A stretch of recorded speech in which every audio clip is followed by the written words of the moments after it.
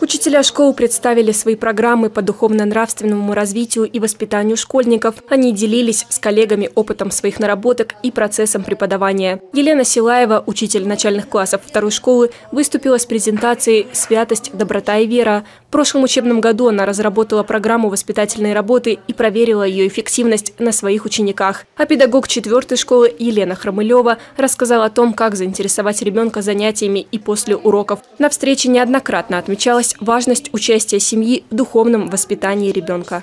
Поскольку курс воспитателей, безусловно, в программе отводится значительное место участию в этом курсе, э, в реализации этого курса родителей.